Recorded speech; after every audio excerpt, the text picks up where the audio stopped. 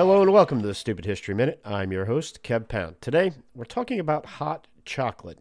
You know, that beloved warm beverage, which has a rich history dating back to ancient Mesoamerican civilizations. The Mayans and Aztecs are credited with the creation of the earliest forms of this indulgent drink using roasted cacao beans mixed with water and spices.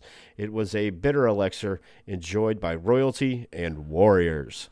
When Spanish explorers brought cacao beans to Europe in the 16th century, hot chocolate underwent a transformation. Sweeteners like sugar and honey were added, making it a delicacy for the elite.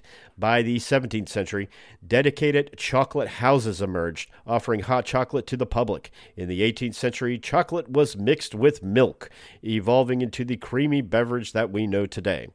Uh, today, hot chocolate is cherished worldwide, uh, a comforting and timeless treat with a fascinating history. This has been the Stupid History Minute, and I'm Kev Pound.